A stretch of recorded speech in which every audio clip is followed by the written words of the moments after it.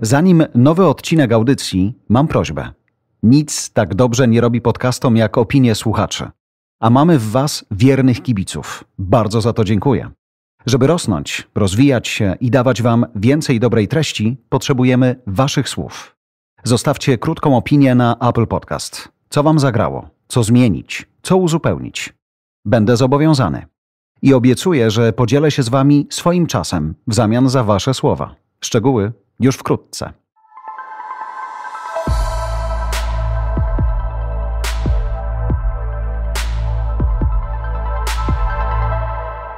Cześć, tutaj Olga Pietrykiewicz. Jestem trenerką Business English i cieszę się, że tu jesteś. Zapraszam Cię na podcast English Pro. Jest to przestrzeń do rozmów o profesjonalnej komunikacji w języku angielskim. Uczę metod, chwytów i słów. Posłuchaj, na co położyć nacisk, by skutecznie komunikować się nie tylko w biznesie. No, to jest niesamowite, że jeden prosty podcast potrafi sprawić tyle przyjemności, nie? Musisz przyjechać z Gdyni do Warszawy, nagrać coś, pogadać i tak dalej, później się przejąć tymi wszystkimi krytycznymi uwagami, ale przy okazji popływasz i zejdzie. No i tak się żyje. Only time will tell. Only time will tell. No Dokładnie. dobrze, szanowni słuchacze, to był wstęp do kolejnej audycji, e, w której skupimy się na czymś, co traktujemy na razie eksperymentalnie, prawda? Tak, to jest, e, możemy powiedzieć, może nawet zalążek nowego formatu, ponieważ skupimy się na jednym słowie ym, i spróbujemy podejść do naszej lekcji, czy też rozmowy w troszeczkę inny sposób. Ym, W Twoim przypadku to powinien być chyba trening militarny, Mhm, dobra. taki jak tam Navy Seals na YouTube. Mówisz masz. No, może by to coś podziałało, ale y, do brzegu, to the coast. I dzisiaj spróbujemy podejść do tematu angielskiego w biznesie w trochę inny sposób. Mianowicie skupimy się na słowie, które w połączeniu z innymi zwrotami stanowi ogromną wartość dodaną. I teraz powiem Ci, skąd przyszedł mi pomysł na, na ten odcinek. Śmiało. Zwierzaj się. Olgo, słuchamy. No więc, Córko, kiedy i czym zgrzeszyłaś? oj, no nie mamy tyle czasu. No ale y, y, pracując w tych moich fabrykach, czyli ucząc y, dyrektorów, trzymając ich w pionie, sprawdzając dokumentację i tak dalej, często mam przyjemność współpracować z innymi nacjami. Czyli obcokrajowcami. Tak? Tak, nie ma takiego słowa? Są nacje, Jest. tylko że no, my staramy aha, się, zanim oficjalnie wprowadzimy Polish Pro, pozwól, że będziemy to porcjować Dobrze, sobie. to z obcokrajowcami. Y, I dzięki temu ostatnio rozmawiałam z pewnym Brytyjczykiem z firmy konsultingowej, która pomaga przejść zakładom produkcyjnym przez y, ten cały Brexit. Y, I wiesz co? On bardzo pochwalił język biznesowy y, moich y, uczniów. Znaczy w ogóle Polaków powiedzmy, nie? A Tak, nie tam tak. twoich uczniów. Polaków, no, po prostu tak, Polaków. tak. Mówi, świetnie mówicie w biznesowym języku, Naprawdę. I słuchacze. stwierdził, że idziemy w bardzo dobrym kierunku, że to się bardzo dobrze rozwija. Good direction. Good Direction, dokładnie. Mm, Ale żeby nie było zbyt różowo, powiedział mi, że jest takie słowo i wszelkie jego odmiany, które nomen omen wzbudza niepokój. Y, Ponieważ jest mało używane Mhm. y, i chyba jest też używane, jeśli już jest używane, to jest używane w zły sposób. Semantycznie, gramatycznie, coś po prostu nie siedzi z tym słowem y, wtedy, kiedy Polacy go używają. I to słowo to jest właśnie concern. Concern. Dokładnie. Concern. Concern. Zmartwienie, troska, Cały concern. ja. Concern. Zmartwienie, troska, concern. Jarek, concern, kuźniar. Jarek, zmartwienie, troska, concern, kuźniar. No tak, no bo możemy powiedzieć my concern, your concern, czy też e, our concern. Mhm. Our concern are comments under our podcast. A dlaczego czasownik w liczbie mnogiej? A, no bo to są komentarze.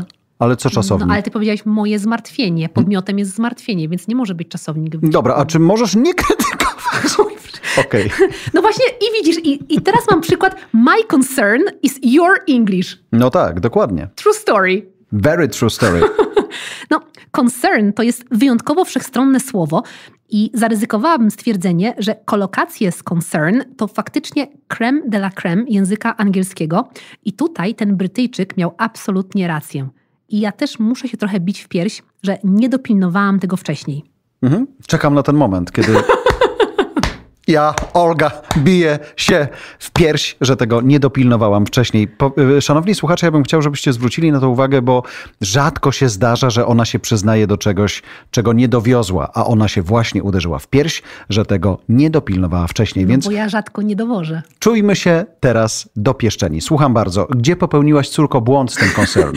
No, ym, chyba nie przykładałam aż takiej wagi do nauki tego Mhm. słowa i faktycznie to jest ten moment, że muszę przyznać y, temu Brytyjczykowi rację. Co możemy z tym zrobić? Z no, tym słowem? możemy nauczyć naszych słuchaczy, co, co y, w zasadzie powinniśmy, bo to nie jest, że możemy, tylko powinniśmy zrobić y, z tym słowem i należy pamiętać, że słowem wyjściowym jest tutaj oczywiście concern, rzeczownik concern. Concern. Pięknie. Y, No i teraz, tak jak zapytałeś, co możemy z tym słowem zrobić? Najpierw skupmy się na czasownikach, które możemy użyć ze słowem concern. Bo możemy express concern. Express concern. Pięknie. Możemy show concern. Show concern. Albo voice concern. What does it mean? Voice concern. No to wypowiedzieć. Powiedzieć, wypowiedzieć, żeby to wybrzmiało, y, podać jako przykład voice concern. Mhm. Voice Wszystko- concern. Dokładnie. Wszystko jest związane z okazywaniem troski lub zmartwienia. I chodzi nam dokładnie o te trzy czasowniki: express, show albo voice concern. Zanim pójdziemy dalej, szanowna pani profesor, Mhm. powiedziałaś express. Czy ma być express czy express? Ja mówię ex- express. Bo ty, okej, ale to jest błąd, jak ja mówię express czy Nie, express? nie. Express, Możemy- czyli bardziej e niż i. Okej, dla mnie to będzie fundamentalna zmiana, bo 43 lata mówiłem express, ale okej. Express, show i voice concern. Dokładnie. I teraz popatrzmy na przykłady. My boss expressed his concern regarding this project. My boss expressed his concern regarding this project. Dokładnie. Wyraził swoje zm- zmartwienie. Świetna fraza. I tak samo możemy też powiedzieć: My boss showed his concern regarding this project. My boss showed his concern regarding this project. I my boss voiced his concern regarding this project. My boss voiced his concern regarding this project. Bardzo ładnie. No i to są nasze czasowniki, które możemy połączyć ze słowem concern. A teraz czas na przymiotniki.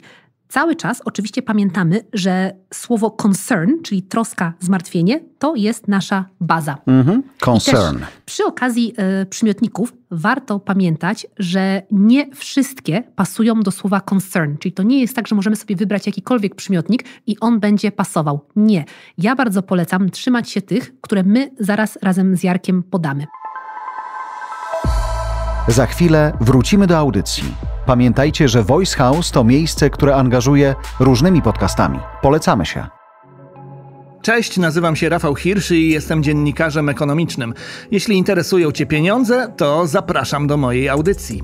Podcast ekonomicznie jest o tym, jak kupić tanio, a sprzedać drogo, czyli o marzeniu inwestorów na całym świecie. Jednak nie wszystkim to wychodzi, ponieważ oprócz liczb, pieniędzy i procedur, gospodarka to też emocje, nadzieje, czas i polityka. Dlatego w podcaście ekonomicznie razem z Jarosławem Kuźniarem mówimy o wszystkich tych czynnikach. Posłuchaj podcastu ekonomicznie, w którym opowiadamy, jak poruszać się w świecie ekonomii. Wracamy do audycji. Zaczniemy od a grave concern. A grave concern. Ogromne zmartwienie. Takie grobowe. Dokładnie. Pięknie. A się przygotowałem, nie? Mnie tego typu klimaty bardzo kręcą. A grave concern. Grobowe. y, następne a primary concern. A primary concern. Super. Main concern. Main concern. Mhm. Albo coś e, bardzo podobnego, major concern. Major concern. Albo massive concern. O, pięknie, massive concern. Uczę się. A ja Jak chyba ostatnio dawałam na Instagramie. Być może. O, Ja cię nie obserwuję, ale Aha, zacznę, jeśli tam akurat. są takie smaczki. mhm, akurat. Growing concern. Dokładnie. Growing concern, czyli No, taki powiększająca się troska. rosnące zmartwienie. Ale to jest to samo. Jakbyś znała język polski, dobrze to byś wiedziała, że to jest prawie że synonim. Nie leżącego. Rosnąca troska, czyli powiększające się zmartwienie. Szanowni słuchacze, głosujcie tak czy nie? No, y, czyli mamy grave, primary, main, major i growing. Grave, primary, main, major, growing. Ekstra. This is a primary concern for our company. This is a primary concern for our company. It has become a growing concern for us. It has become a growing concern for us. Mhm. I tutaj taka mała uwaga. Wiem, że wiele osób jest bardzo przyzwyczajonych do słowa I am afraid of. Z tym, że 70% z tych osób bardzo często pomyli przyimek i nie powie afraid of, tylko afraid for, afraid at, no coś, co nie powinno mieć miejsca. Dlatego takie sformułowanie jak my main concern is to świetne, biznesowe, profesjonalne, krótkie wyrażenie, które z pomocą zastąpi nam to afraid of. Mhm. Okej, czyli afraid of no, but my main concern is yes. Ja polecam. Okej. Mhm. I teraz popatrzmy na bardzo ważny przykład. Akurat mamy Międzynarodowy Dzień Sernika, więc my main concern is lack of cheesecake in Voice House. Mhm. Idźmy dalej. I kto tu nie dowiózł? No dobrze. A teraz zróbmy coś takiego, szanowni słuchacze. Ja powtórzę to, co powtórzyłem, a potem zostawimy taką ciszę, tak żeby każdy ze słuchaczy mógł sobie to powtórzyć. Uwaga. Olga pierwsza, My main concern is lack of cheesecake in Voice House. Jarek. My main concern is lack of cheesecake in Voice House. I uwaga, słuchacze. My main concern is. Perfekt. Idziemy dalej. Idziemy dalej. My main concern is the number of meetings in this company. My main concern is the number of meetings in this company. Super. Main zawsze możemy podmienić na major i mamy my major concern are figures in the report. My major concern are figures in the report. Świetnie. Mając to słowo bazowe, concern, to teraz możemy przejść do rewelacyjnego przymiotniku concerning. Muszę coś powiedzieć. Tak? Przymiotnika. Okej. Ale nie wycinajmy, niech cała naga prawda o Oldze będzie w tym podcaście. No, no, no. Z tym naga to widoczna. bym y, nie przesadzała. Concern. Mhm. Mamy rewelacyjny przymiotnik. Przymiotnik. Tak, przymiotnik. Concerning. Concerning. Znowu koń, końcówka ing z tym g delikatnie zawieszonym. Mhm. Y, No więc y, przymiotnik concerning w świadomości Polaków jest praktycznie non-existent. Ale On co- nie istnieje. ale co Polacy znaczy? go nie używają. Dobra, co znaczy? Concern wszyscy wiemy, zmartwienie, troska, Tak. a concerning Concerning to jest wzbudzający niepokój, troskę, zatroskanie. I Że- jest to przymiotnik i w zdaniu też trzeba go używać jako przymiotnika. Natomiast Czyli Pola- Olga is very concerning girl. A very concerning girl. Znowu articles. Olga is the very concerning girl. A very concerning Dlaczego nie girl. może być the, skoro ta konkretna Olga chce to podkreślić? Ale kiedy dajemy taki rzeczownik Mhm. połączony z przymiotnikiem, to wtedy zawsze będzie article A. No Okej. chyba, że mamy samogłoskę, to wtedy en. Ale tutaj bardzo cię proszę A. Ale wiesz co, ty się pięknie denerwujesz to po pierwsze, a po drugie, Podobno. ty od razu dałaś definicję i dowód na to, że ty wiesz o czym mówisz. A to, to naprawdę się czasem przydaje naszym słuchaczom. Okej, concerning. Olga is a very concerning girl. Ale że ja wzbudzam niepokój. Tak. Tak? No, zapytaj tu wszystkich, nawet te nasze przepiękne ukraińskie sprzątaczki tutaj. One od razu ci powiedzą. One się boją tu wejść, jak ty siedzisz i nagrywasz. Zauważyłaś? Mhm. Normalnie to ona tu wchodzi, przetrze, coś pogada, zapyta, pani Jarku, co tamtego. A tak Widać, że nikogo. robiłeś wywiad z Michałem Figurskim. Nikogo. Tusze. Skupmy się teraz na zdaniach. Mhm. His comments are concerning. His comments are concerning. Super. The situation on the market is concerning. The situation on the market is concerning. Project results are concerning. Project results are concerning. Jarek, a co dla ciebie jest concerning? Czyli takie niepokojące. Takie wzbudzające niepokój. E, Wiesz co, na przykład tak serio, serio, No tak serio, serio. ale szczerze, tak honestly, No dawaj, frankly. frankly speaking, Em, ja myślę sobie tak, za każdym kolejnym naszym nagraniem idziemy gdzieś dalej. I teraz prowadzimy tych naszych słuchaczy już e, ileś odcinków i myślę sobie, jak daleko oni z nami pójdą, a jak nie. W którymś momencie, wiesz, odpadną Tak, albo... to jest bardzo To jest takie concerning. concerning. Ja Na ile jesteśmy myślę. w stanie ciągnąć te tłumy, które ty w puściłaś po prostu w kanał nauki języka biznesowego za sobą. Więc zróbmy wszystko, żeby szli za nami. Bardzo Was o to prosimy, ale odpowiadając na Twoje pytanie, to jest takie concerning z perspektywy no, autora, no, współ. To Dokładnie. tyle. Ale y, jeśli oni mają iść za nami, to Tak. my musimy im dać jakąś wartość dodaną. Dlatego teraz przygotowałam jeszcze lingwistyczny deserek, czyli cztery wyrażenia ze słowem concern, które moim zdaniem mogą się bardzo przydać.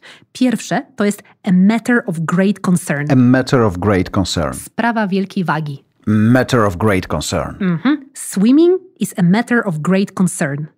Biking is a matter of great concern. Super. Y, następne wyrażenie jest out of concern. Czyli mam gdzieś zmartwienie, tak? No nie, bo out of concern to oznacza, że robisz coś z troski. Mhm. Na przykład jak ja przyszłam, to zapytałeś się, czy nie chciałabym czegoś zjeść. Tak. Wierzę, że było to out of concern, Dokładnie. Ja po prostu jak widzę mm, córkę, no to od razu a nie pytam, nie? jakiś przytyk w stronę mojej wagi. Nie, broń Boże, out of concern. Out of concern, dokładnie, z troski. Kiedy robimy coś z troski, wyrażamy coś, to wtedy właśnie będzie out of concern. Mhm. Moim zdaniem super i naszym słuchaczom też się bardzo przyda. tak, szczera troska. Każdemu się przyda.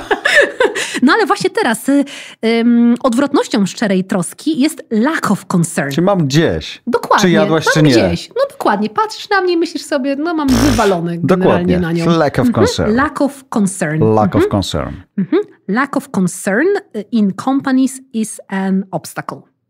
Lack of concern in companies is obstacle. Super. Mhm. I ostatnie wyrażenie, powód do niepokoju, czyli cause for concern. Cause for concern.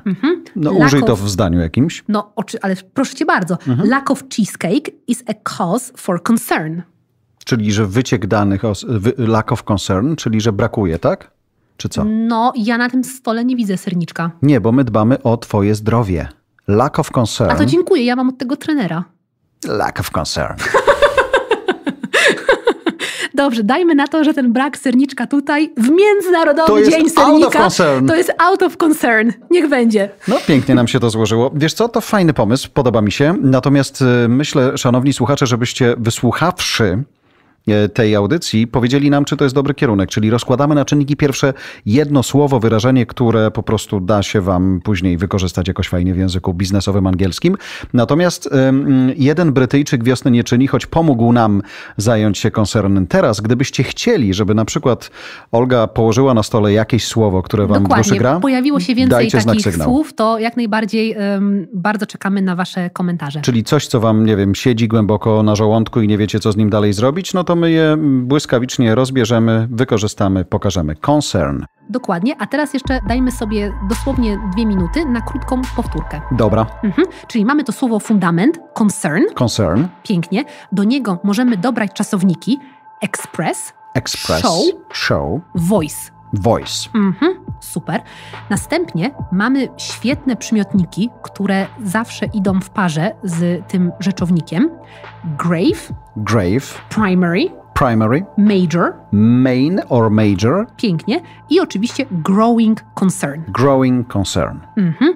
Mamy też e, słowo pochodne, które jest przymiotnikiem i bardzo łatwo można go użyć w zdaniu. Concerning, Concerning. Mhm. Czyli?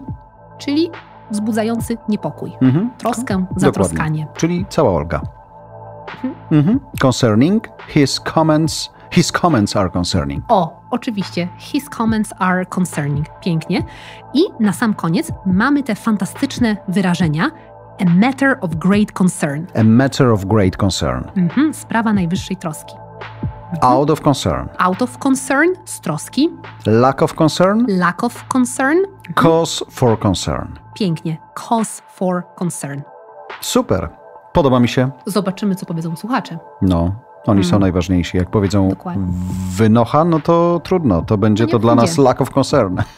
No, dla mnie raczej a matter of great concern, ale zobaczymy. Dzięki, Fingers Olga. crossed. Dziękuję bardzo.